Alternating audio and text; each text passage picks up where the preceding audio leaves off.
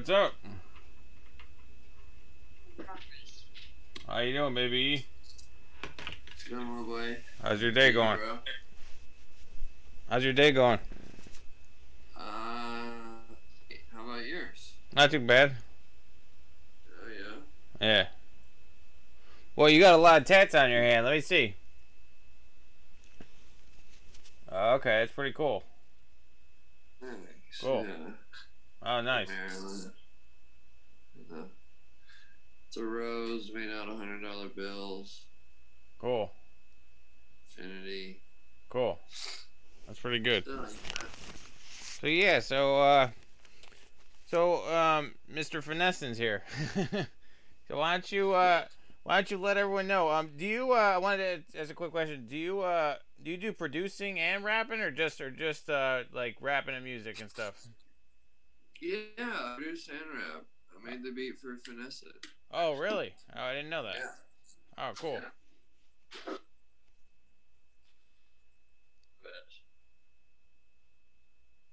But, yeah, I made the beat for finessing. Um, I had a little help along the way, but I made the meat and potatoes of the beat. Uh, I made the beat the champagne. Uh, made um, a lot of beats. Remember that song "Bounce It" by Juicy J? Yeah. I made the beat to that and wrote the hook for it. So, yeah, I, I like I wouldn't myself like a producer. I just more or less get lucky every once in a while, and the beat sounds hard, and like Oh, okay. uh, it ends Yeah. up working out. Yeah, But, yeah. yeah. My process usually, um, my songs, I usually just start with like a piano and guitar. Just gonna work out the song, uh, you know, on a really simple level, and uh, I show the producer the chords, and they usually have even better chords, and um, they build a beat out and make a song. That's generally how it goes. Cool, cool. Um, before we get into that, um, I just want to let everyone know who doesn't know about you. Um, you're affiliated with like Little Wayne and Cash Money and stuff, and uh, I first heard about you um, through watching Little Wayne. It was like probably six years ago. I heard your finessing on Little Wayne's channel, so that's when I first heard about you through Young Money. But I just want to let people know, you know, Birdman and uh, Lil Wayne uh, actually get hundred million dollar checks. You know what I'm saying? They're really no joke. They really get a hundred million what? Hundred million dollar checks. They've really gotten that. Oh yeah. Um, what other artists did you work with? Why don't you let people know? You know, you said Juicy J. Who else have you worked with? Kevin Gates, J Lo, Britney Spears, uh, fucking you name it, bro. Anyone and everyone, pretty much. Oh, okay, cool. Maybe Uh, not what- like Kid, maybe not Bieber or Kid LAROI. Of course, there's a a bunch I haven't worked with, but I've worked with Bhad Bhabie. Um, I don't know. Did you do songwriting for them? Mm-hmm. Oh, okay. Wow, that, that's pretty interesting. Cool. So, but let's start from the beginning because I haven't uh, heard your story and I, I haven't talked to you before. So, um, first of all, welcome to the channel. Thanks for coming on. And uh, and how did you get your name, baby? Um. Well, my name is Ethan, and um, like uh, you gotta think like I started uh, rapping. I like I started out playing in like rock bands, like guess what you would call screamo, emo, metal bands or whatever, you know. And um, back in the MySpace days, and so like um a white dude who dresses straight out of Hot Topic, like rapping, was like a joke at that point. You know what I mean? Like there was no such thing as SoundCloud rap or anything yet. And um, um, outside of my band, like all my homies, you know, we saw we're in the streets doing shit we shouldn't have been. and so um, I had this like alter ego of me being a rapper where I would like write like the hardest rhymes I could think of and record them. And I would drop the beat so my voice sounds like this, which, um, for lack a better word, made me sound black. and, um, and uh, my, so I started doing that, and my homies started calling me Baby E as a joke. And uh, so I just went with it, put it on MySpace for fun, named it Baby E, and like, um, I never expected things to get as serious as they did, and um, yeah, honestly, it's like the bane of my existence. I wish I would have thought of a better name, but yeah, once you get it, it stuck with you. yeah, like it's too late to change it now. I feel like so I'm baby. You know? Yeah, yeah. Um, for people who haven't heard you or haven't heard some of your newer music or what you do, how would you describe your music? Um, I would describe my music as um as um I wouldn't call it pop trap because that makes it sound lame. So I guess um you know being someone who writes songs for pop singers and also some rappers and uh, uh, those two kind of come together when I make music for myself. So I guess just like um, I don't know, radio trap, pop trap. You know what I mean? Okay. Yeah. Yeah. Yeah. Um, where are you from? Where'd you grow up and stuff? Um, I grew up in Florida. Moved around a lot. Uh, went to 14 different schools in 12 years. Um, but for the most part, I grew up in uh, Panhandle, Florida, like Pensacola, Marianna. There's this little town called Marianna that I graduated from. And uh, my second home is uh, like Norfolk, Virginia, Virginia Beach, Virginia. Um, spent like half my life in Virginia too. Like coming out, I could have said I was from Virginia. No one would have batted an eye.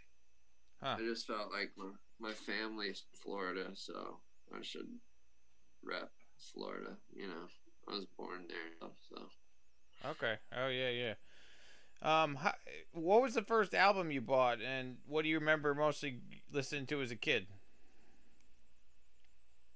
Was my first what? What was the first you know album you bought or CD, and what do you remember listening to as a kid growing up? Um, uh, the first album I ever bought it was a tape, and it was Coolio. It's this paradise. Okay, yeah, I, I had that back in the day in elementary school too. yeah. Yeah. Uh, elementary school, Coolio, Gangsta's Paradise. That was my first tape. And then uh, the first CD I ever got when CDs took over was uh, Bone Thugs-n-Harmony, The Art of War 2. Okay. Oh, yeah, yeah, yeah. I guess that makes a lot of sense, though I do more like rap. yeah, yeah. Because they were both melodic rappers. Yeah. Um, I forgot to ask you. Um, what did what did your parents do? um, my father was a um, he was a Rolling Stone man. He's a drug dealer, been out of prison a lot. He, he was a crazy guy. His name was Slick. Um, and my mom, she um, she's always been involved in like um, teaching in some sort of capacity she loves kids. She loves children. She loves to help kids. Um, so yeah, she works with a lot of kids. There's a lot of um, work with the ED students and things like that. You know. Oh, okay. Is your dad still around? No. Oh, rest in peace. Oh, okay. Um, my stepdad was um, and he, he, I would say he was my father figure more than my father, and he he, was um, he was in the Navy, and uh-huh. his fucking uh his that asshole died on Father's Day like two years ago. Oh wow! Rest in peace.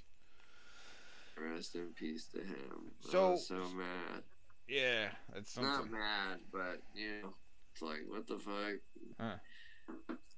Huh. So so how did you first get into music? Like what were you doing? Were you just uh like banging out an MPC or were you just rapping a little bit or how how did that all happen?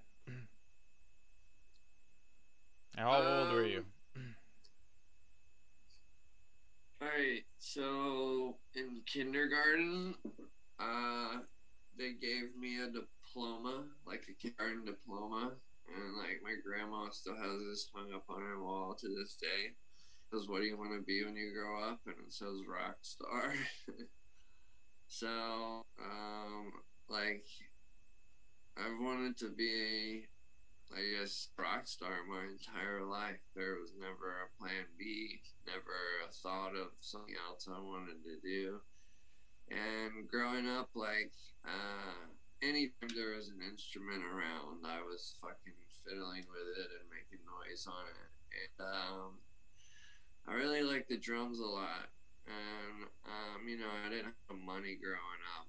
Um, there, my parents had five kids between the two of them and actually six. And um, so uh, my mom was like, "Yo, um, like." In order to show me that you're serious about music, you have to do band class for a year in order to like show me that you're serious about making music. And I was so mad because in the band I was in in sixth grade, they didn't allow sixth graders to play in the drum line. You had to do a year of like another instrument. So the first instrument I ever learned was trumpet.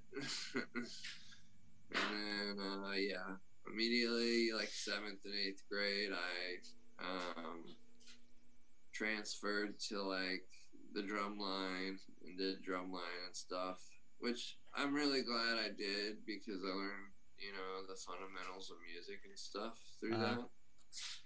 By ninth grade, I was playing in garage bands and heavy metal bands and stuff, and playing shows around town and shit. I meant so, to ask yeah. you, did you ever, uh, did you ever meet Skrillex? Because um, he was had a similar story about being in a rock band before he was a DJ and stuff.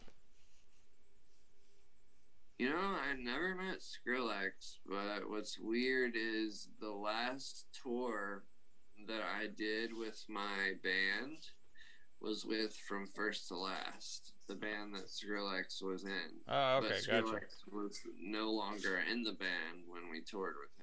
Oh, okay. Yeah, my girl of 10 years is like um, really good, great friends with Skrillex. She knows him really well. Um, okay. Yeah, yeah, I like his music. Gonna... It's pretty crazy. oh, dude, he's a yeah. fucking legend. Yeah. Like, are you kidding me? Yeah, like, yeah. Oh my god, it's like I don't know that first EP, Monsters and Sprites or whatever. That shit's crazy. Yeah. It's like his shit. Was... His shit with Diplo is pretty nuts too. Yeah, yeah, of course he continuously is making dope shit over the years, but I just remember that first, you know. Yeah. Whatever it was called, sprites and yeah. Mon- whatever. Yeah.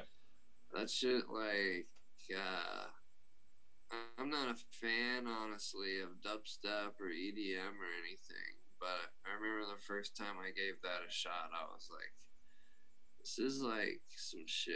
Like this yeah. guy is a, like I would compare him to like uh, his. I would compare his compositions to maybe like a modern day Beethoven. yeah, me too. Yeah, do you like DJ Snake at all? Um, I guess I don't know who he is really. I couldn't name a song by. Oh, him, okay. I like him. I Yeah, check him out. If you like Skrillex, I think DJ Snake is just as good or better, if- in my opinion. It's Oh, different. It's different, but yeah. He's from France. Okay. Yeah. I mean, yeah, I'll check him out. Yeah. Um, I know he's like doing well on the radio and stuff. I see his Yeah. name everywhere. So. Yeah, yeah. Yeah, well, anyway, um, how did you uh, start rapping and get it to meet uh, Juicy J? Because he was pretty much the first person I've seen that you were working with. Or were you working with someone before that? No, dude. Um. So, uh, uh, how did I meet Juicy J? Um, oh, wait, wait, wait. No, no, no. How did you get to meet Juicy J? Did you meet someone before that? Or who were you working with before that? No. So this is how I got to meet Juicy J. Um, I was living in Virginia, um, in like the same city or area. They call it the seven five seven. It's or the seven cities. And it's basically just one big city with different names. Um, but um, so anyway, uh, you know who Lex Luger, the producer, is? I've I've heard of him, but um, I haven't really listened to his stuff, or maybe I have, but I didn't realize it. But I've heard of him. Oh, you definitely have. Like Okay.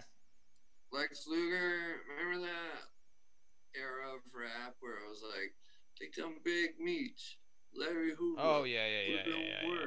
Oh yeah, of course, Hallelujah. of course. When that sound took off, Yeah, um, and uh, you know, a lot of Waka stuff. yeah. Um, it's a party. It's a party. It's a party. Oh yeah, of course. Then I have. Yeah, yeah. Okay. Lex Lex Luger uh, doesn't get enough credit in my opinion, but he literally created like the sound of music that we listen to. The he created that with 808s under it. Like he was like the first and only guy to be making beats like that. And um, I mean, people were doing similar things prior, but like what we know now as the trap beat um, was definitely created by Lex Luger.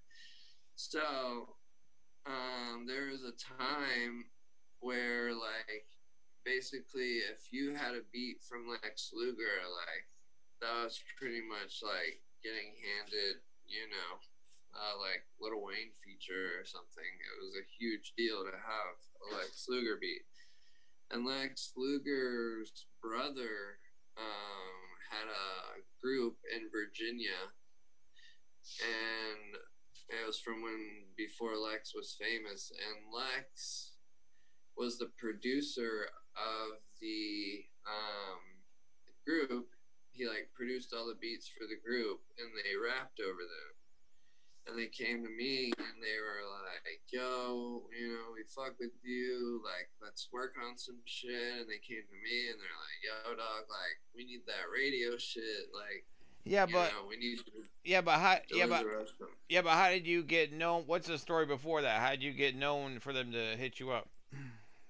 Oh, I'm getting there. Oh, okay. So, Lex Luger uh, was making all the beats for Juicy J at the time for Rubba Band Business One and Yeah. Two, when Juicy J was coming up. And I guess in return for Lex doing beats with Juicy and stuff, in order to help Lex's brothers group, Juicy J was doing a mixtape with the group VABP, which is Lex's brother. And um, I, we made songs together. And um, one of the, so I guess Juicy was like, uh, you know, send me what you guys have been working on, and I'll hop on it, and we can finish this mixtape. He heard um, the um, brother? Sorry, sorry, I got distracted. It's all good. But anyway, so he heard the um, song and liked it so much. At the time, I was working as a uh, like Terminix pest control guy. Oh, really? I'm like on the way to work at like fucking 7 a.m. it's like three or four in the morning here in LA. I get this call from Memphis, and I'm like, "What the fuck? Who's calling me from Memphis this early?" And I pick up the phone, and it's uh, I just hear, "Yo, man, what up? Juicy J, Three Six Mafia. You ever heard of me?" And I'm like, I could just tell by the voice and the fact that it was a Memphis number. I was like, "This is Juicy fucking J." And I was like, "Of course I heard of you. Like, it came up on you, bro. Like, you're a legend. Like." It was, and he was like, "Look, man, I heard your song Rockstar Stone." He's like, uh, he's like, I, I want to throw a verse on that shit and shoot a video with it. And I was like, fucking goddamn right. Yeah, like, but yeah, know, but how did you meet uh, Lex Luger? How did that come together? um, because I worked with his brother's group. Oh, what was it, guys? You were going to school with or something? No, we were just like rappers in the same city. Oh, okay, gotcha. networking with each other and i was known as like uh, i guess you would say like on a local level the same way you go to like Kid LAROI or Juice WRLD or bieber to get like a radio hook you know like if a rapper wanted to really cross over Okay. I was like the guy a lot of the rappers would, you know, yeah, because I guess you would say my sound is more radio friendly. Okay, yeah, yeah. Like underground rap, Yeah. you know, what most of them were doing. Yeah, so after Juicy called you, what did you do? You shot a video or what happened? Were you in the studio with him recording that track or like with his verse or he just sent you a verse? Yeah, he asked me to send him a blank, uh, like a, a version of the song with a blank verse. Yeah. And like, this was like the first celebrity I'd ever talked to or dealt with in my life. Huh. You know, and so I just didn't know like how often I should text him. I didn't want to annoy him and blow the opportunity. And so I didn't push anything. I just let him come to me whenever he was ready. And um and he so he like literally sent me the song back the same day. So I'm like, worst case scenario, I got a Juicy J feature and that's that. Um and like maybe like two, three months later, uh same thing. I'm at work and it's like 1 p.m. or something like that. And I get a call and I'm like, oh shit, Juicy J's calling me. And I'm like, uh, what's up, dude? And he's like, he's like, yo, bro. He's like, I just landed in, uh, in Virginia. He's like, you ready to shoot this video? and I'm like, yeah, of course, you know?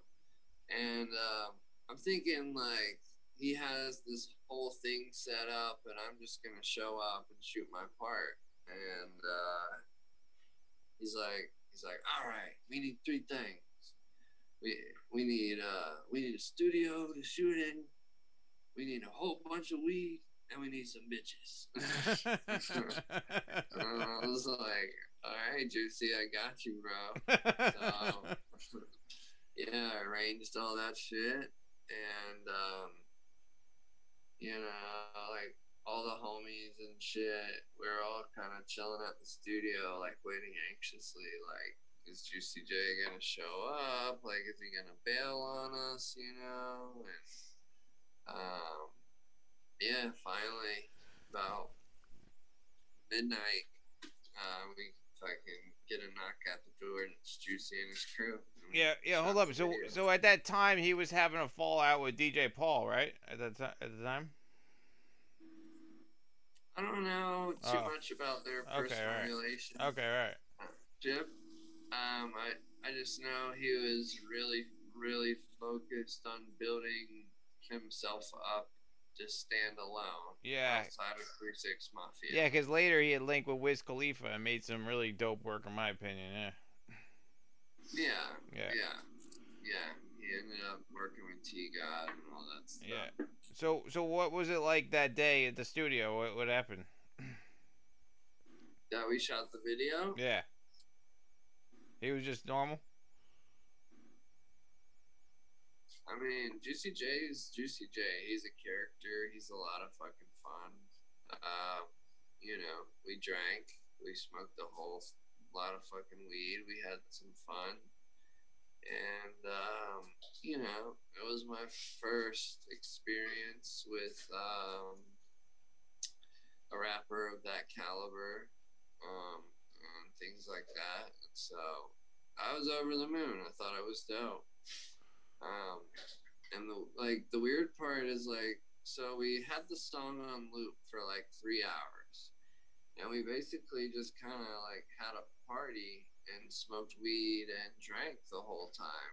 And like, I, I see the camera guy like putting away the fucking camera, and I'm like, yo, bro, like, you never, uh, you never like got my part. Like, when are we gonna do like our separate parts? Like, I wanted to like rap to the camera like my verse, and he's like, and you know we were singing the song a little bit, and he's like, "Oh, dude," he's like, "I got plenty of footage, man. Don't worry, like you'll look great." And I'm just like, okay. I guess I guess that's how it works. Um, to be honest, the video the video came out and I was like, you definitely didn't get my part, but um, yeah, but that was shot by my boy Jay. I, he he's he's the man. I love him. I, but yeah, I think yeah, he just wanted to get it done with and stuff. So. Huh. I was just kind of like, um, we're not doing like personal shots, you know. Yeah. But so so what uh so what happened after that? after that day. Um, you know, they edited the video and put it out, and it came out on World Star. And being on World Star at the time was pretty much like in the MTV of hip hop. Yeah, I remember those days. It was it was kind of like a "Mama, I made it" moment. Oh yeah. And, and um, like, uh, and then honestly, it was like crickets, bro. I thought like this it would lead to this big thing, to be honest, I mean, of course, it, I got some attention and stuff from it, but like, it wasn't like it blew me up overnight. And I was like, okay, this is a sign that like I got a lot of work to put in. You know what I mean? Yeah. And um, so I just kept my head down and st- and, and kept working. And uh, What songs no that's notable did you make between that time and Finesse and coming out? Um, I mean, a lot of stuff. I, I, I, let, I ended up getting signed with Island Def Jam eventually. I dropped. Wait, just uh, off that Juicy J track? No. Oh. Hey, bro, let me um go some go somewhere. Yeah. This. It's like loud up in here. People are. Where's this Here. noise coming from? Here. Sorry, it's like I'll give you super the- throwing me off. Yeah, so I was just wondering what what did what how did you get signed? Like what did they listen to to sign you? Um, so I had been in touch with some A and R's from the industry, and I think a lot of them uh, believed in me and or believed in my writing, but they didn't know so much like what the fuck they would do with me as an artist. Cause you know, like Lil Peep hadn't happened, Post Malone hadn't happened yet. Like, Yeah. things were a lot different then. So a kid like me was in a weird position because they knew everyone knew there was something there. They just didn't know like how to market it, and there was nothing before it to like kind of model the marketing after. And um, so yeah, so the way I ended up getting signed is um, like there was this um, woman named um, Alisha Brooks, Majesty Brooks. She goes by Majesty, and, and um, she worked out of the studio I was working out of um, a lot, and um, she wrote that song. Hey, Mr. DJ, come on the replay. Would you turn the music up for Rihanna? Her Oh, first okay. single? No shit. She wrote that? Oh, wow. Yeah, and her first, her manager when she wrote that song was um, this guy named Chris Anokute, and he was the guy who um, had signed Katy Perry. Uh, Oh, He went on to sign Katy Perry after that, Ah. and the dude I was trying to get to was um, Dr. Luke, the guy I'm signed to currently Oh, Um, okay. Oh, yeah, yeah, the yeah. producer. I wanted to get with Dr. Luke because um, I could tell, you know, he obviously had the pop shit on lock, but he was starting to do stuff with like Lil, like Lil Wayne and B.O.B., Strange Clouds and things. And I was like, yeah, this guy will understand what I'm trying to do with the whole like pop rap thing, you know? Yeah. And um, so, um, yeah, she told me, she's like, look, I believe in you. I want to help you. She was like literally an angel sent from the sky. and like, uh, she was just like, um, so, um, I just want to help you succeed in every way I can. So we were sending songs to Chris, the Katy Perry guy, in LA for like months, dude. And like, I was to the point where I truly believed that like this guy was just like pulling her tail. And like, you know, we'd send like song after song, and it was just like, like, oh, this is great, bro. Keep sending, man. Keep progressing. Um, I'm like, bro, Uh. when am I? Uh, hold up. coming to fucking Hold up. I had heard a lot of stories about Dr. Luke. Is he a good guy? Oh, okay. He's a great guy, dude. Uh, okay, cool. All that shit was untrue. Uh, okay. Um, anyone who knows him knows like that shit wasn't true. Yeah. Um, you know, TMZ, of course, posted the uh, the headline that he was accused. Yeah, we can skip over that. It's all right. Yeah. So, Yeah. so, so, how did you finally link with Wayne? Like, what? How was that process? How did that happen? Young Money. So I ended up getting the deal with Island Def Jam, like I said.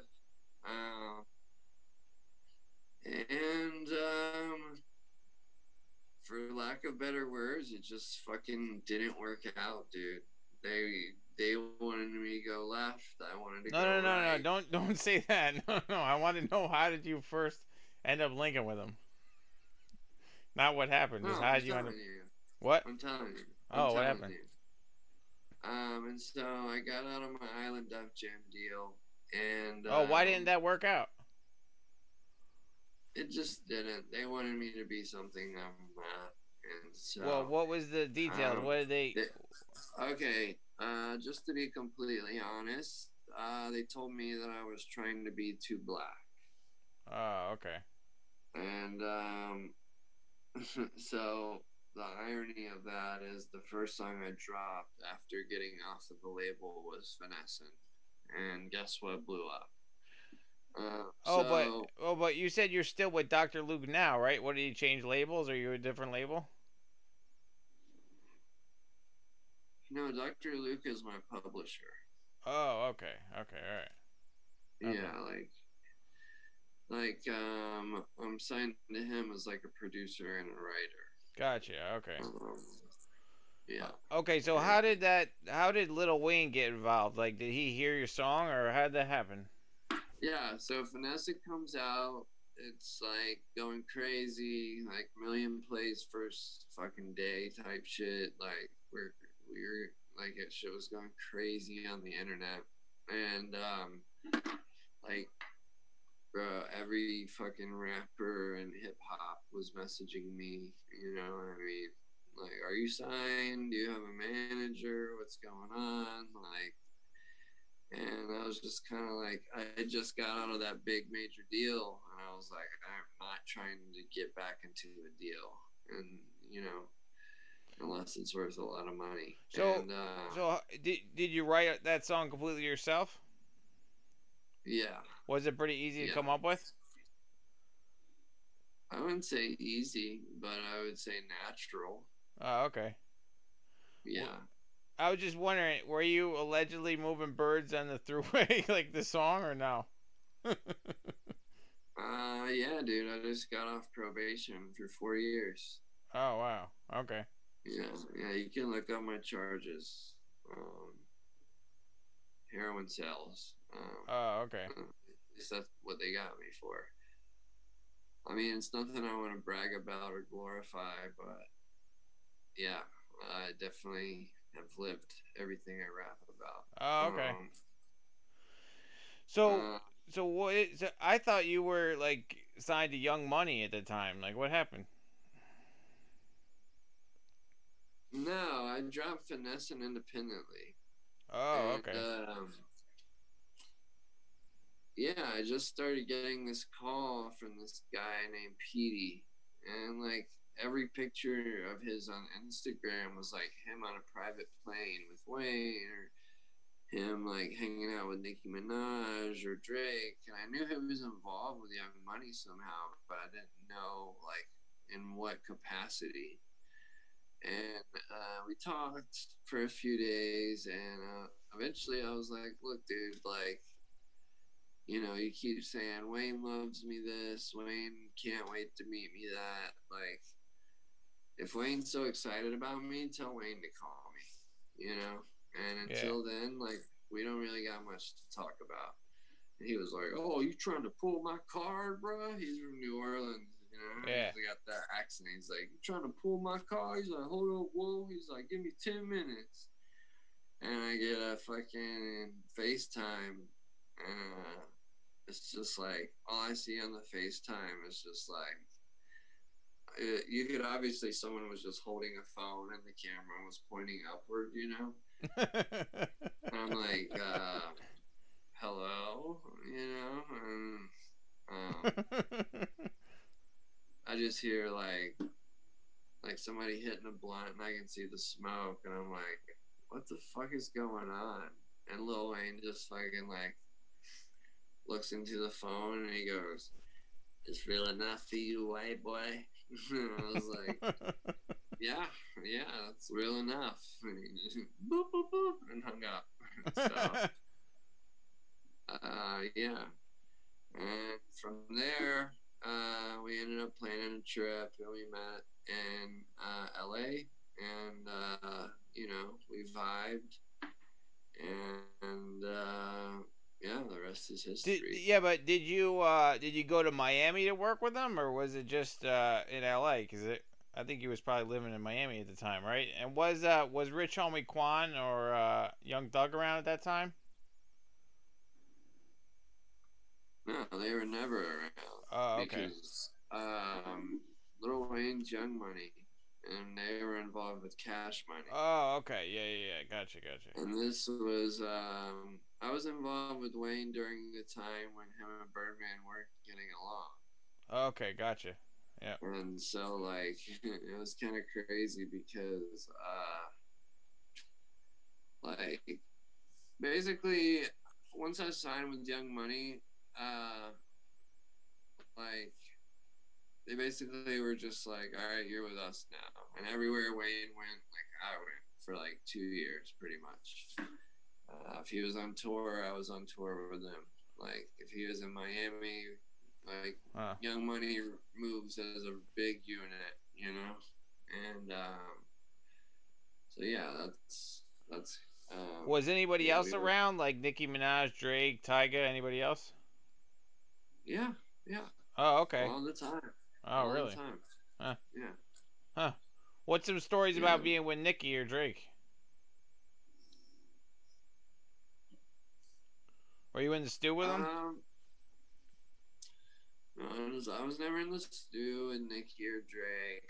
I met uh, Nicki very briefly, and um, she's just cool, funny, sassy chick. You know what I mean? Like, um, and uh, Jersey was like, I don't know. Drizzy seems to have this like constant, super mischievous like vibe about him, where you can tell he's just like planning like pranks and shit all the time. I don't know. Huh. So uh, I don't know. It was cool. I, I I met him like I got to know Wayne really well, but you know Nicki and Drake are so deep in their careers that they don't necessarily hang around with Wayne and shit all the time. Like you know, when, when we'd cross paths, we'd all hang out and say hey. But other than that, it wasn't like you know.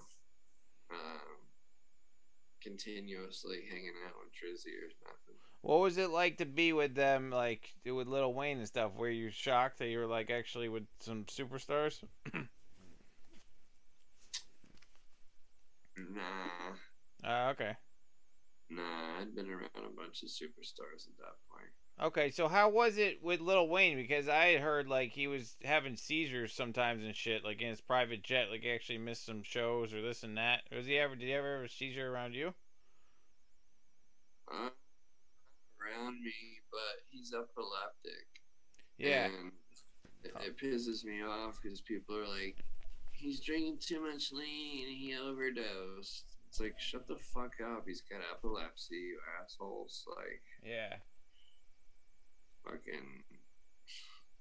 So he would pass out every once in a while for a few minutes, and then he would come back. Well, yeah, that's what epilepsy is. Okay, yeah, I didn't know how often, but yeah, okay. It's a seizure. It's Huh. a seizure disease. You can't Yeah. help it. How you was know? it? You How? know? Uh, what did What did Little Wayne say to you when you first met him? I'm just wondering. He liked your song, obviously, but what did he say? Man, Wayne is a fucking enigma, bro. Like Wayne is like really hard to figure out, and I don't know if you ever could figure him out. Um, but um, what's crazy is uh, we didn't meet in person until uh, we were shooting the video for Finessin, and you know they put big red X's on the ground for you to like show you where to stand when they're shooting the shot. Yeah. And first time we met is um, they pulled me over and they're like, "All right, we need you on your X." I'm like, "Okay." So I'm standing on my X, and they're like, "Wayne, your X is right there." And I look over, and Wayne's like two feet away from me, and he just looks at me, and he's like, "He's like, you ready, baby?" And I was like, "Yeah." I was like, "I'm ready." And he's like, "Let's go." So yeah, I, like to be honest, I was expecting us to build more of a rapport maybe prior to shooting a video together because because like when we were shooting and stuff, I wasn't sure if I was like, able to put my arm around him Yeah. or like you know like I didn't want to piss him off uh, and ruin the shoot, but uh, we got through it and it was cool.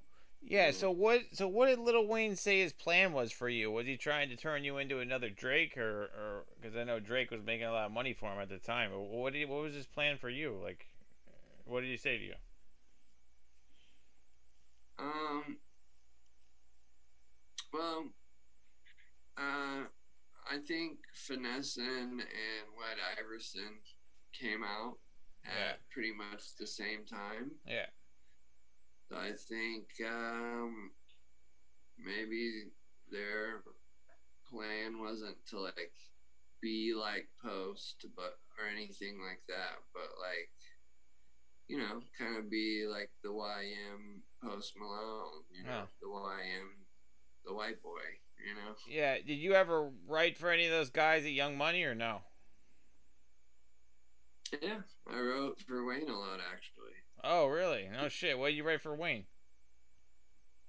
Uh, a lot of stuff, dude. A lot of stuff. A lot of A lot of songs. stuff. Oh wow. Yeah, yeah, yeah. Oh, okay. The weird thing about Wayne, bro, is he makes like about 20 songs a day. And I think um, he makes so much music that he forgets like what's really fire and what's not.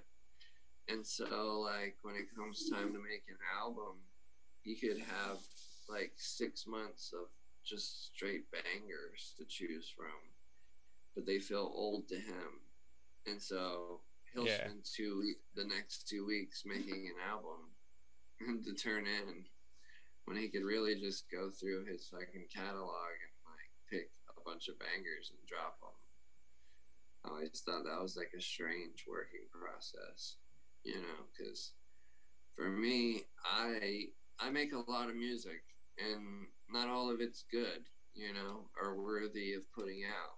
So there, there's the songs I put to the side where I'm like, I want to put this stuff out, and there's the songs that are like, uh, not my best, you know. hmm Um, so I don't know. Sometimes I wish I could like just get like a list of Wayne songs and uh, like pick an album for him. You know what I Yeah, like an A and R. Yeah, but he, you know, he's got great people around him, and he's an artist, and you know, he, he chooses his own work, and Huh. so that's the music he wants to put out, then that's the music he puts out. So Yeah. So so what did he say about about your writing and stuff and, and your song? Did he like what you do, obviously, and uh, and and like so what happened with that? Why was the why was there a falling out? um, there was never a falling out, you know. Um, we're still family. Like I still talk to Mack on a not on a regular basis. Not I wouldn't say daily, but I still talk to Mack Mane on a regular basis. Uh, just to keep it a buck, I think my situation was kind of similar to Tyga, where they, um, you know, they signed me, they gave me a platform, and gave me wings to fly with, and we're kind of like, you know, now it's your turn to boss up and do what you want with it. And uh, Mack Mane was my manager, and uh, I just called him and told him, you know, I love you guys. I'll be Young Money forever. It's tattooed on my skin, but um, I want more for myself. You know what I mean? Like, and um, Mack was like, well, you know, I believe in you more than anyone, and as someone who loves you, I want what's best for your career. So if you think, uh, you know, moving on and doing your own thing is is the right choice, and I support you in that. Huh? So it- yeah. yeah, people have this weird like obsession with the fact they think we like fell out or I got dropped by Young Money, or it, it was never anything like that. It was just I felt like my career was stagnant, and I wanted to explore other options. Um, Did So- they? Uh, did you have your own publishing, or were they taking your publishing? And do you have any problem getting paid? Because I know that was an issue around that time. Or do you always get paid? no, like my publishing's through Dr. Luke. Oh, okay. Um, and when Young Money came to me, they were like, um, you know, we want to work with you, but um, we're not going to do it without any paperwork because we've had artists that we've brought around who get the clout, um, kind of like Kevin Gates at one point, you know. Oh, he was like signed to Young Money, and we're in Young Money, and I'm the new Young Money artist, and they hadn't had done they hadn't done paperwork yet, and him and Wayne ended up getting in an argument in the studio, um, and he flew to uh, L.A. the next day and signed to Atlantic. So uh, to prevent that, they were just like, you know, we don't, we're not going to make anything. And I was like, well, look, I just got out of a major label deal, and if the owner of the label um, can't release music, then it doesn't make sense for me as a new artist to sign to Young Money. Like, uh, your guys' whole marketing scheme right now is free C5. Like, Mm. you know. I mean? Yeah, yeah, yeah, yeah. Um, so I told Mack, I said, I don't have a manager right now, so um, you, you could be my manager and you know take twenty percent of my career, and that way we have official paperwork and. Uh, you know, so that's how that's how we ended up structuring the business of that. Cool. is, uh, Did did you ever Yeah. meet with uh, Birdman at all, or no? yeah, briefly, briefly. Oh, okay. What what were your talks with him?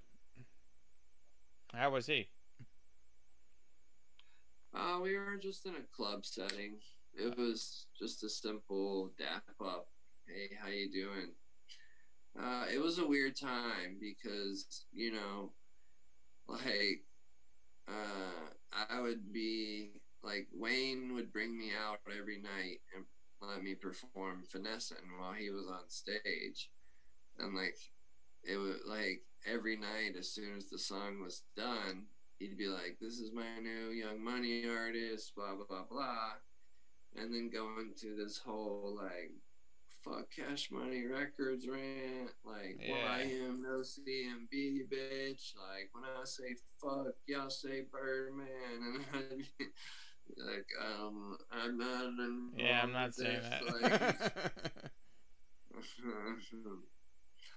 so uh, it was uh, it was kind of awkward. I think they were kind of repairing their relationship when I knew Wayne, and um, you know, a lot of people don't really consider this, but you know, Birdman was Wayne's father figure since he was eight years old, and um, Mack Mane is actually Birdman's blood nephew. oh, okay. So it, it's it's like way it's like family ties. Yeah, they go you know? deep. Yeah, I know. Yeah. Yeah. Way deep, way way back. Yeah, I know. I know a good amount of the story. Yeah, yeah, definitely. Yeah. So, so, uh, so how did uh, the remix come together with uh, Kevin Gates' Little Bibby? You ever get to meet Little Bibby? yeah, many times. Many okay. times. What What were your talks with him? Because I know he's a real boss now, man. Like he's he's worth a lot, and he's he's uh he owns his own record label and stuff. Like went on to do Juice WRLD and lots of other people. But what what was it like the- meeting him? The guy who signed me, Dr. Luke, is the guy who signed Lil Bibby. Oh, okay, okay, gotcha. So is Little Bibby's So- label through Dr. Luke or something? Oh, okay, gotcha. Okay, I see. I see. I, thought. I, believe. What? I believe. I don't know exactly how their business is structured, but I know Dr. Luke was super instrumental in, uh, you know, Bibby Working with Lil Bibby. okay, gotcha. Yeah. So what were your talks with Lil Bibby? Honestly, man, he's he's a stone cold fucking Chicago guy, man.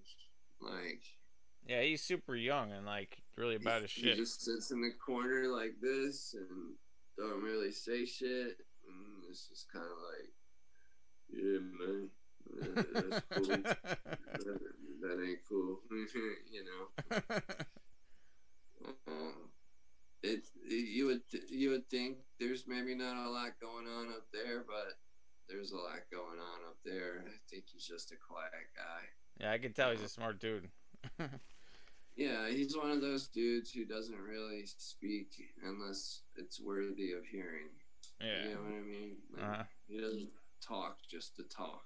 Like, so yeah. And, and uh, you know, when I was meeting him, he was so new to the industry. Like, he had just been plucked from the Chicago streets. Yeah. So I don't think he quite understood like he's safe in in the industry. Like you're in a private studio with a bunch of nerdy white guys. Like, like n- nobody's gonna run in here with guns, bro. Like we're not in Chicago.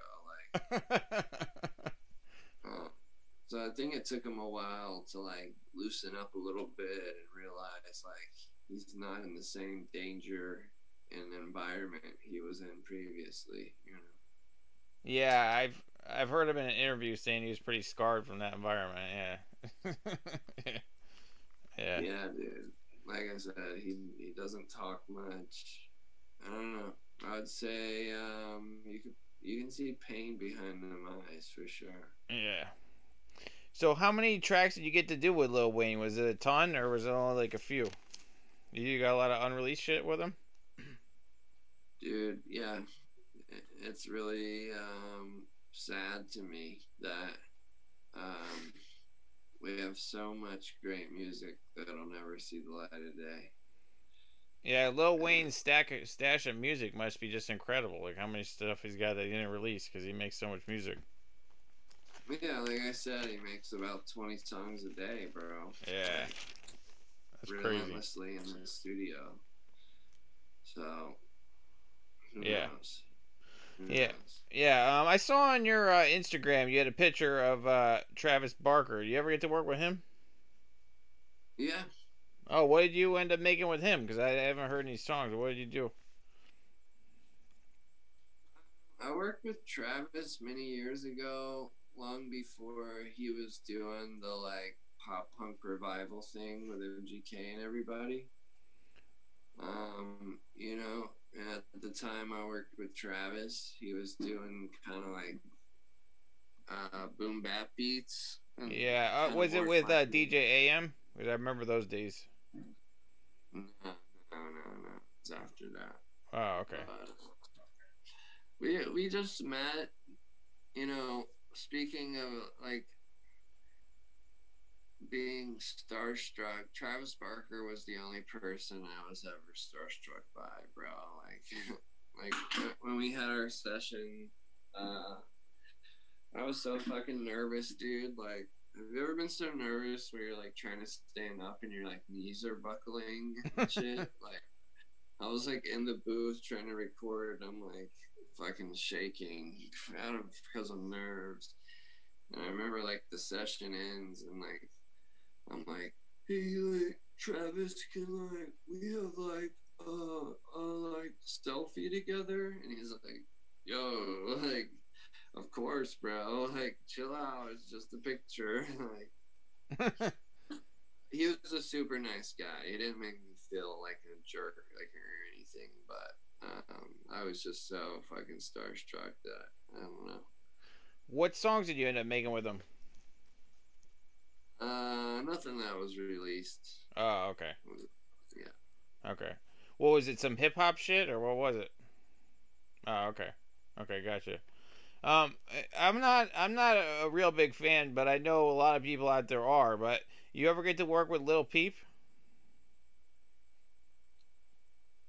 Uh, in person.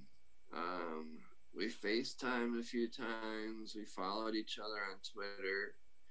We talked with each other, and he was a big fan of me. I was a big fan of him.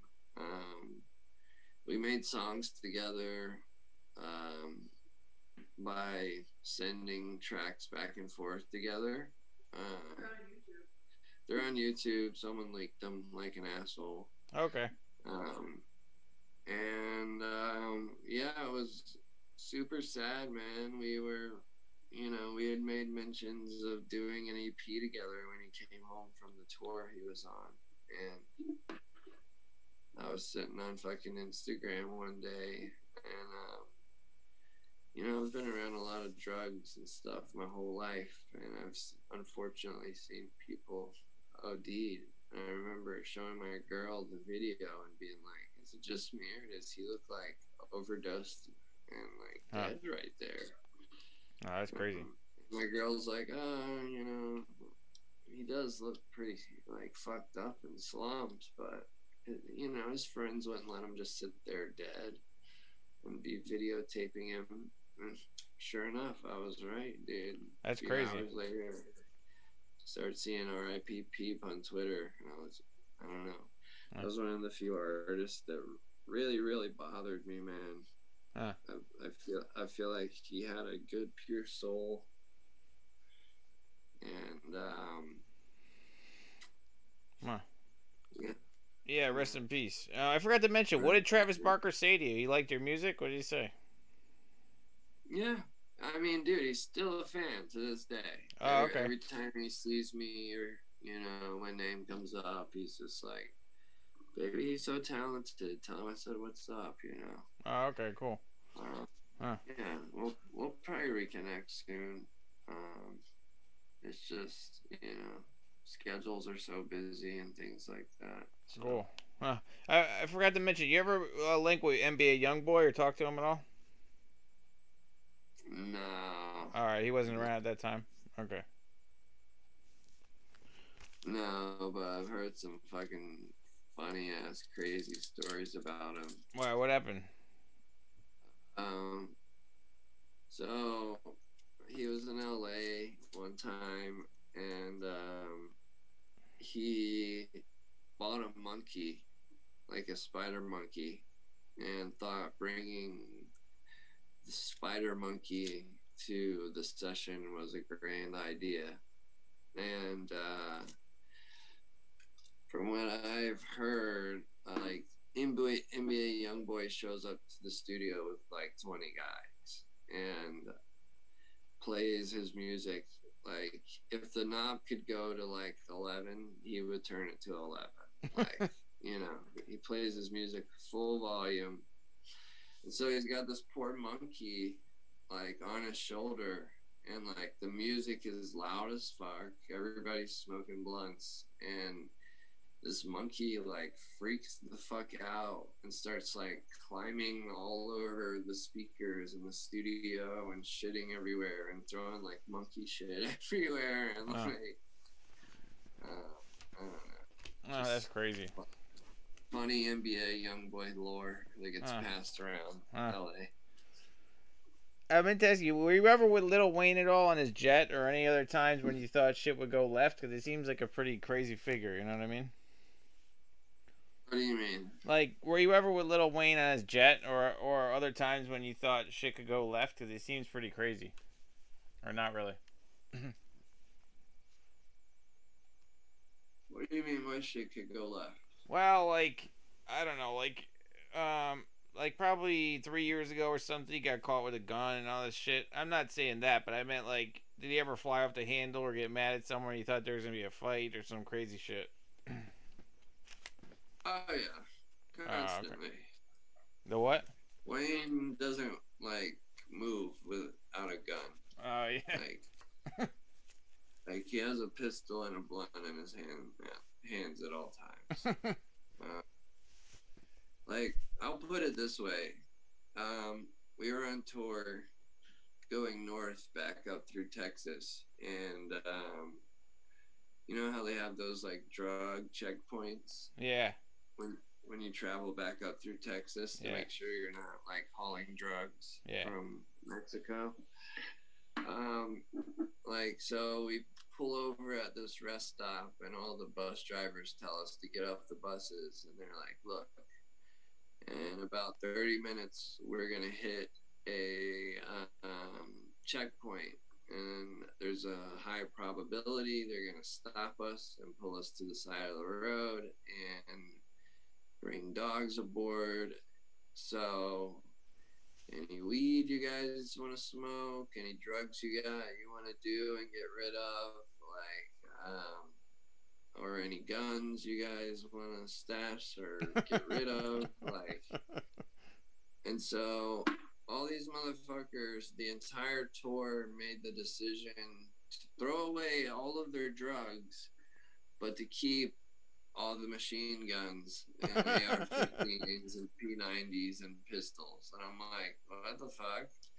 And so, uh, I, I took all the, my drugs and just like, you know, cheeked them and put them up my ass, but like between my cheeks.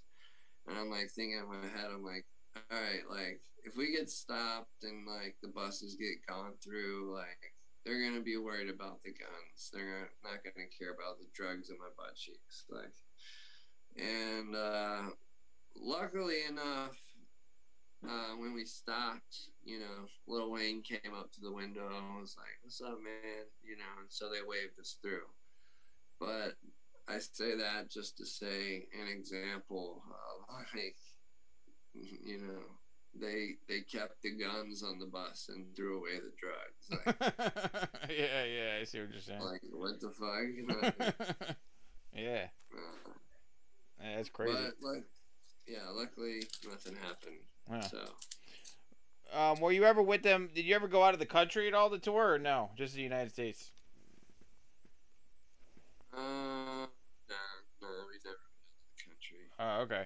Um, what what uh what happened like when you left uh, Young Money, and how did you end up? Uh, what happened in between leaking with Juicy J again? Like like uh, what did you work on and stuff, and how how did that all come? You know, what happened with that? Um. So after the thing happened with Young Money, that whole thing, and I told Mack, you know, I love you. I just, you know, we got other opportunities arising, and I want to be able to take them.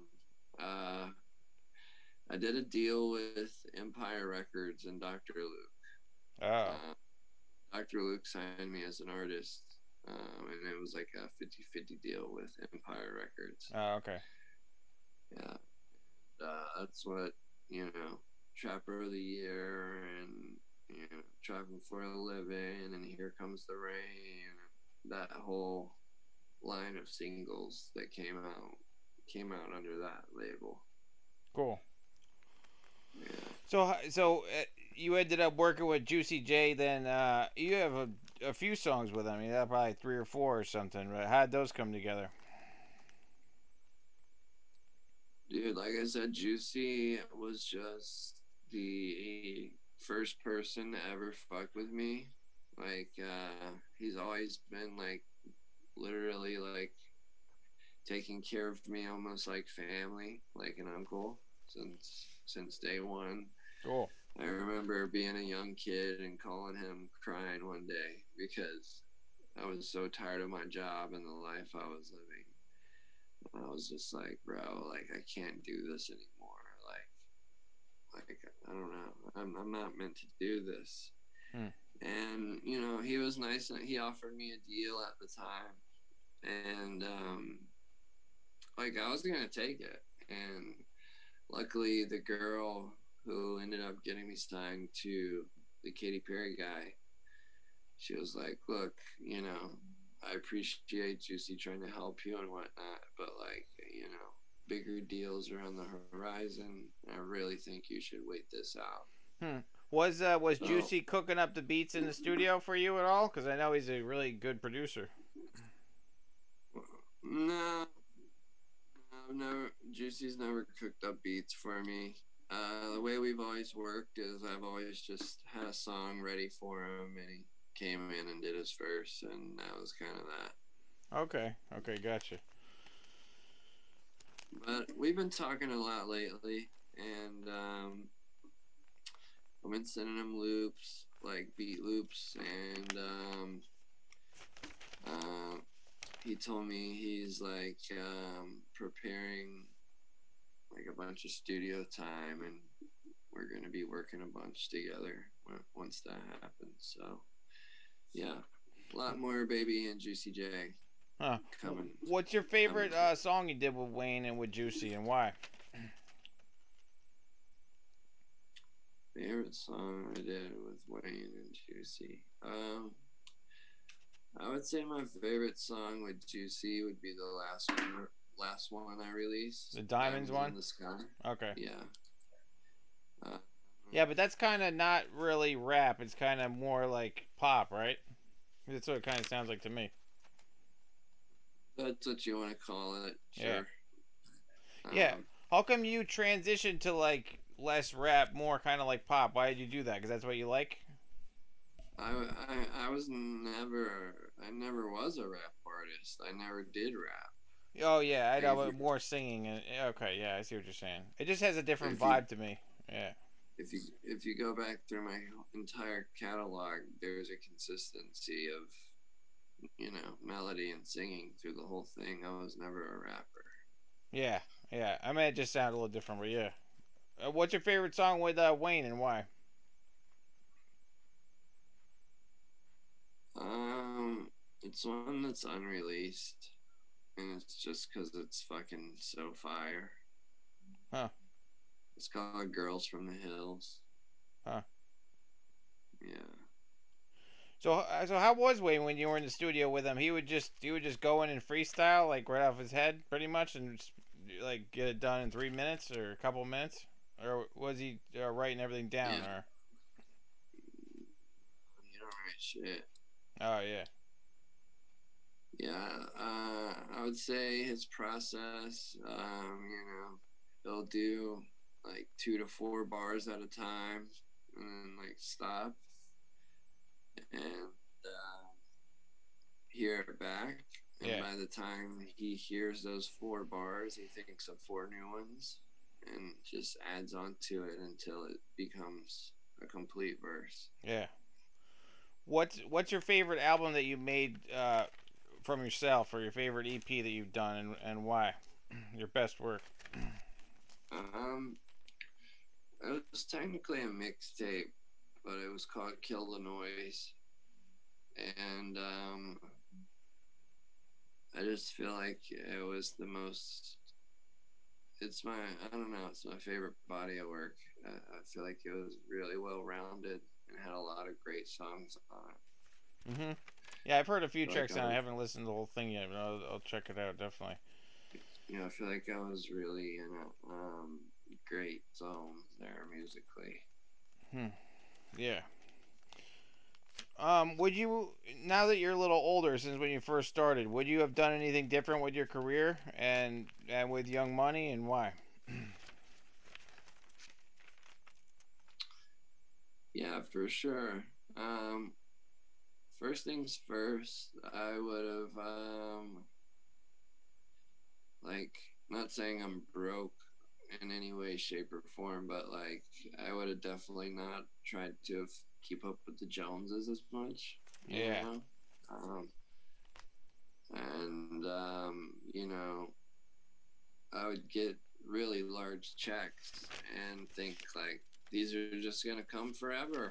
Like, you know, like I'm rich now. Like I hit the lottery. And the truth of the matter is, is like, um, when you're really hot, the checks are big, and you know they start to tail off a little bit sometimes. And uh, when uh, I don't know, if you create a lifestyle that requires a certain amount of income Yeah. and then when you're not making that certain income any longer um, it's like it's hard you know? Uh, at one point i was living in a house that was the rent was $8500 also I had a separate apartment that was like $1400 a month. Uh, just stupid shit man i Yeah. would swipe my card spending like two to five hundred dollars a day on weed. Yeah. Um, and one, on, I guess one thing I would have done different is definitely uh, stayed away from drugs. Yeah. Um, what's some advice that uh that Juicy and Wayne gave you? What what did they tell you?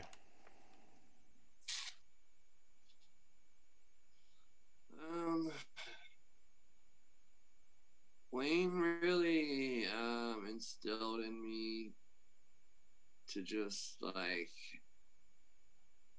um, trust my instincts and to just be really proud of who I am.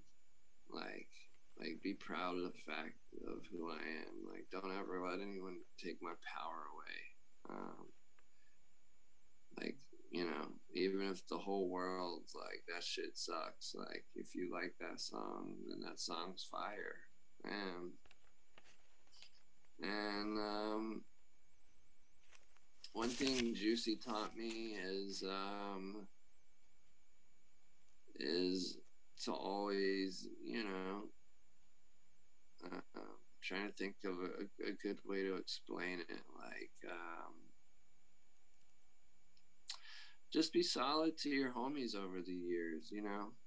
Everybody's shit comes in waves. And, like, um, you know, somebody might not be on top of the world right now, but uh, I guess it's like the way you treat someone who can't do something for you is like a sign of your character and who you really are. You know what I mean? Yeah. Like, like don't fuck with people just because they're gonna help your career. Like, fuck with them because you fuck with them. Yeah. Yeah, that's pretty good advice. That's pretty good. Yeah. What what uh oh yeah, how was it working with uh Kim Petras? Hope I'm pronouncing her name right. I think she's from the UK, right? Yeah, she's German. Oh, okay. Originally. Okay. How was it working with her? Because I know you made a few songs. Dude, it, she it was amazing. She's a superstar, um, and it was crazy. I I got in really early on her project. Um, I got a call from Dr. Luke one day. He's like, "Yo, dude, I just signed this girl, Kim Petras from Germany, um, and like, like, he's like, I think it's gonna be big. Like, I really want you to be a part of this." And I'm like, "Okay, cool," you know. And uh, sure enough. uh, so how did that come together? Like, what was the process like for those songs you made? Like, uh, you know, what, was that Uh, like? The hills and stuff. Um.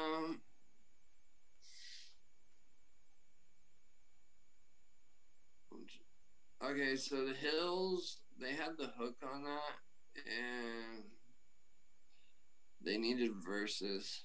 So, um, I wrote I wrote Kim's verse with her, and they were like, "Well, I like did the reference to kind of." Sh- she's German, so she kind of she was so fresh. She didn't so much understand the lingo as much yet.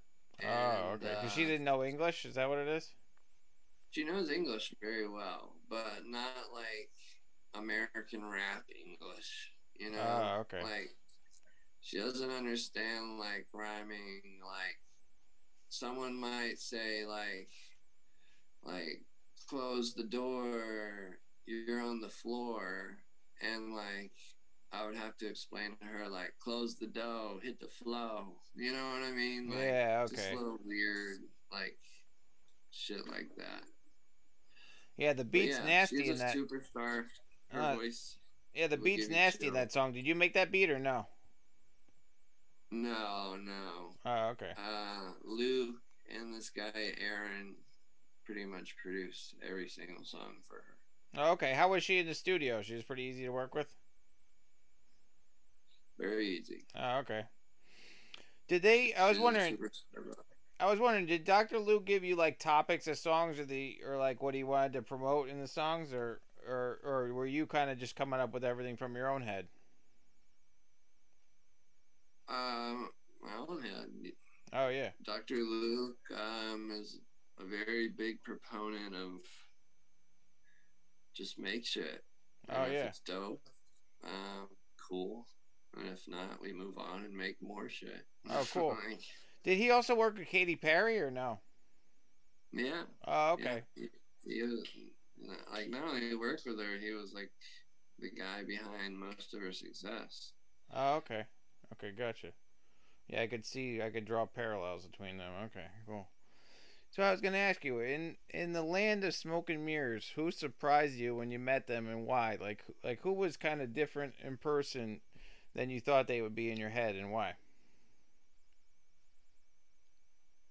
Um,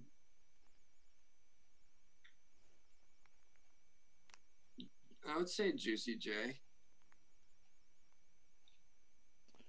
Because, um, you know, in his music, uh, I'm not saying he doesn't party and doesn't do certain drugs, but like, uh, the the content and the material in his music like like for instance when i first met him i imagined he was gonna land and like pull out a suitcase with like every drug ever and be like, "Take your pick, man. We getting trippy, man." yeah.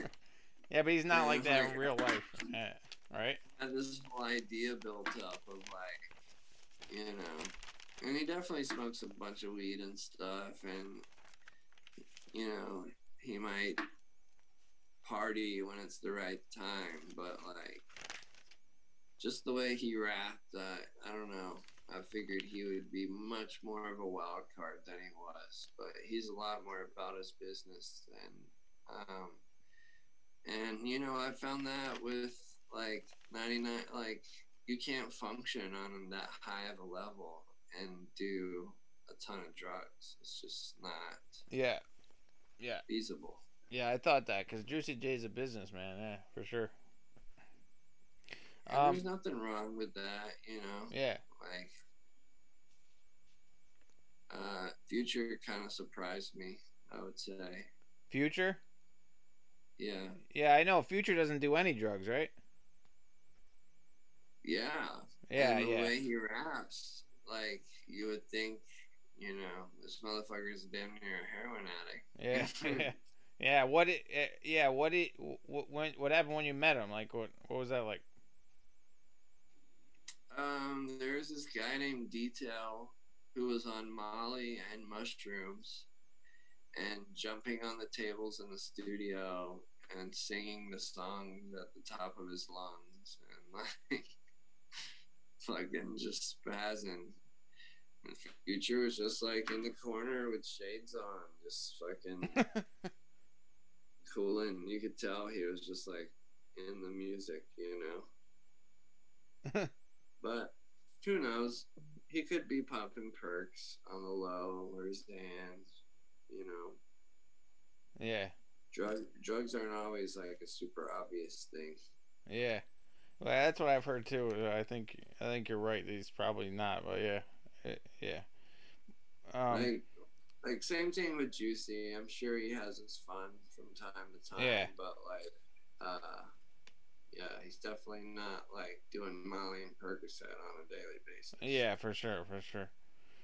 Um, yeah, DJ Paul had said that during recording that sipping on some sizzurp, they'd almost died making that song. That's what he said, but yeah.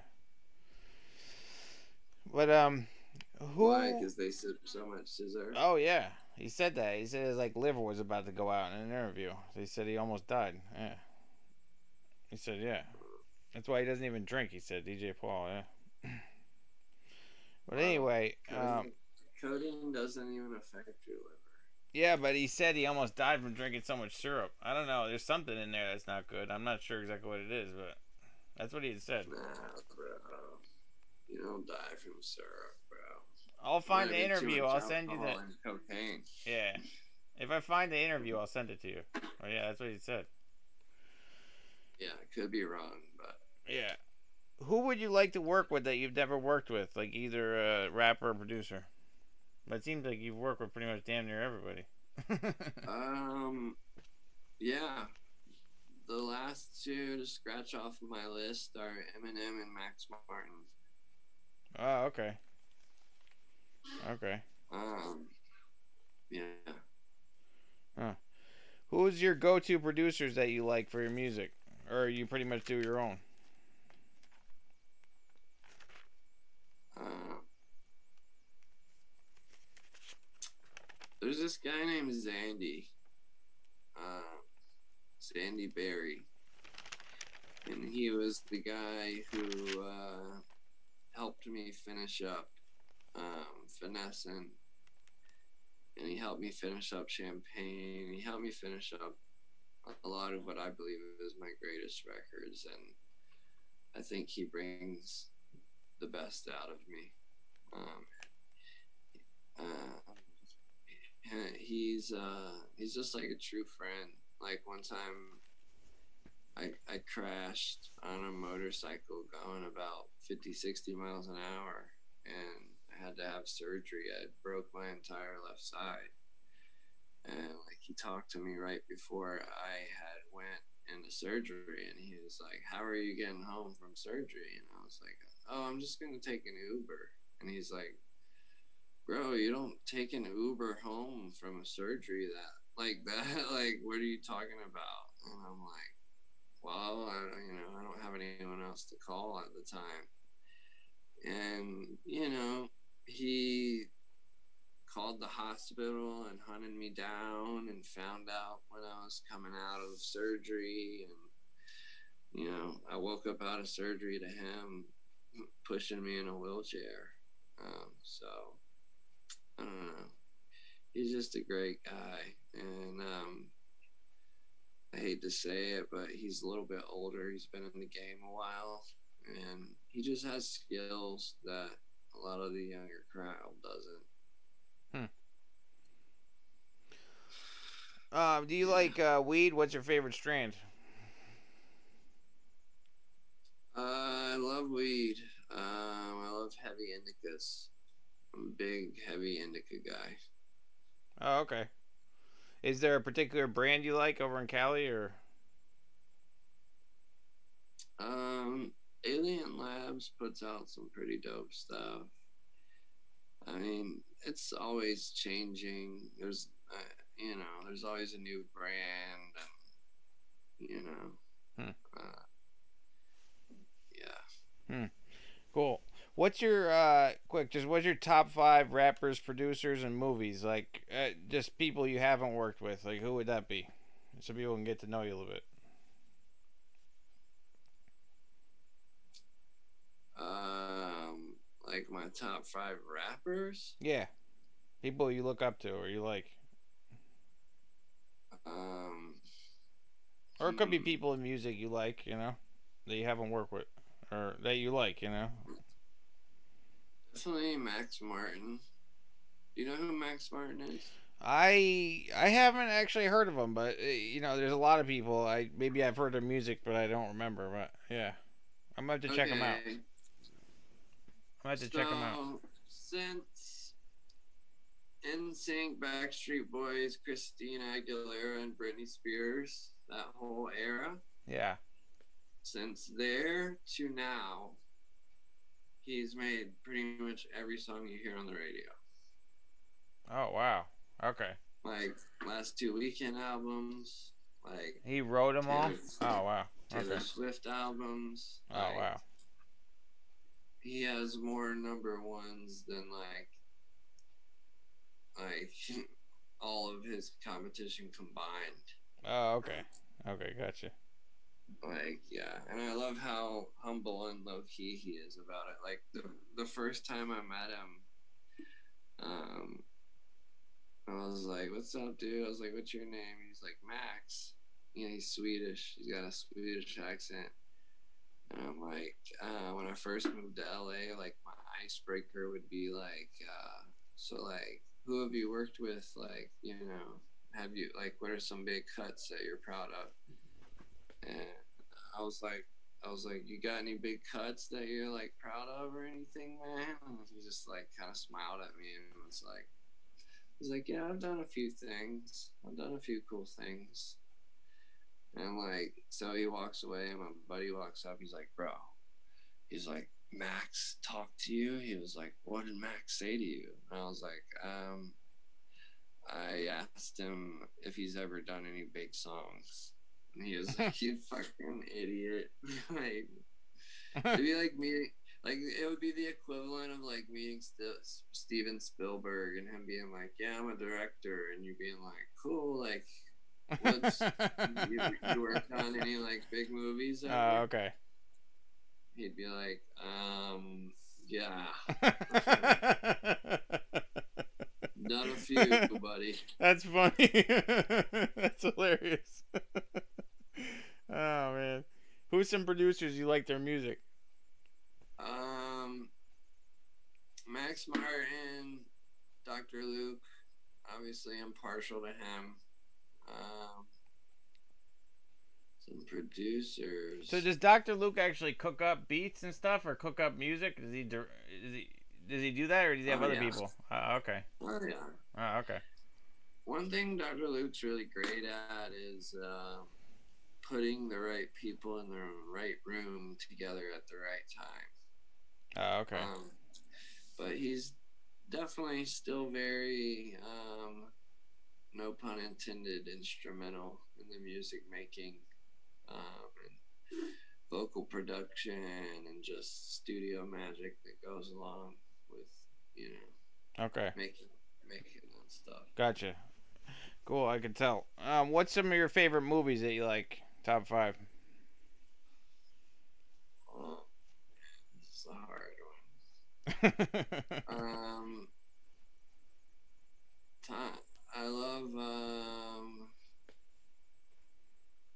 trying to think of like, like just pretty much everything Tom Hardy, man. Hmm. Like, I don't know. I guess you could say I have like a man crush on Tom Hardy. oh. Not a man crush, but I just think his acting is brilliant. Uh, other than that, Leo, Wolf of Wall Street. Oh yeah. I think, Leo's brilliant. Um, yeah, I don't know. He kind of caught me off guard with that one. It's all good. Like, but yeah, Hmm. yeah, I love film. I love Cool. film. What do you got? Uh, where where do you see yourself in a year? And uh, what projects you got in the works right now? Um, Or where would you like to be in a year? What's up? I'm shooting a video for uh, Diamonds in the Sky. Oh really? Okay. um, On the 19th. Okay. Um, and uh, yeah, the plan is just keep pushing forward, making things happen. That's all you can really do. Is um, you know, keep pushing, bro. Making art, releasing art, and uh, if the fans like it, great. But you know, I've always said, like, even if I never made a dime doing this, if I never got one play, like, I would do music regardless. Like, Yeah. Um. like the same way people sit there and play Call of Duty for ten hours a day. Like, yeah. That's like same thing with me in music. It, it, it never gets old. What's the What's your favorite song you made that's out right now that that people could listen to and that you like the best?